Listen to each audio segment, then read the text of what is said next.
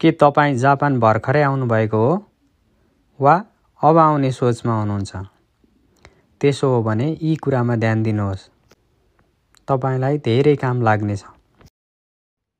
एक जापानको नियम कानुनको बारेमा थाहा पाइराख्नुहोस्।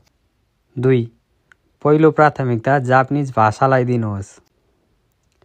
तिन सकेसम्म होस्टेल नबसी जापानमै भएका भरपर्दो आफन्त वा साथीबाट रुम खोजेर बस्नुहोस्। दुई वा तिनजनाभन्दा बढी आफ्नो रुममा साथीहरू नबस्नुहोस्। चार फोन सेकेन्ड ह्यान्ड लिनुहोस्। धेरै महँगो फोन लिँदैमा राम्रो भन्ने होइन। आफूले राम्रो कमाउन सक्ने भएपछि राम्रो फोन लिएको राम्रो हो। पाँच सिम सस्तो लिनुहोस्। सस्तो सिम भन्नाले राक्तेनको सिम केडिडिआईको युक्यूको सिम डोकोमोको आहामो सिम लाइन मोबाइलहरू पर्ने गर्दछन्। सकेसम्म सिम लिँदा मोबाइल पनि आउने सिम लिनुभयो भने तपाईँलाई अझै एकदमै सजिलो हुनेछ। छ। ट्याक्स पेन्सन कस्तो बेला तिर्नुपर्छ? कस्तो बेला तिर्नु पर्दैन राम्रोसँग बुझ्नुहोस्। ट्याक्स तिर्नुपर्ने ठाउँमा अनिवार्य तिर्नुहोस्। स्टुडेन्टमा हुँदा पेन्सन तिर्नु पर्दैन। यसलाई आफू बस्ने सिटी अफिसमा गएर मिलाउन मिल्छ। सात साथी साथीमा झगडा पटक्कै नगर्नुहोस्।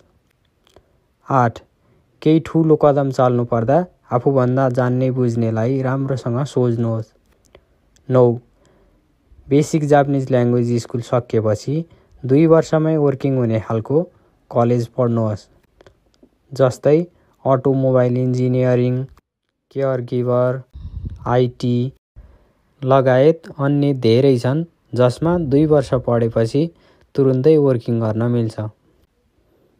दस पैसा खर्चमा कन्ट्रोल गर्नुहोस्।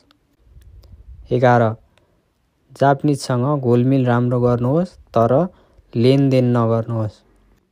बाह्र जेएलपिटी वा जेपिटी जस्ता जापानिज ल्याङ्ग्वेज स्किल परीक्षाहरू पास गरेर राख्नुहोस् ताकि तपाईँलाई वर्किङ गर्न यसले अझै धेरै सहयोग पुगोस्।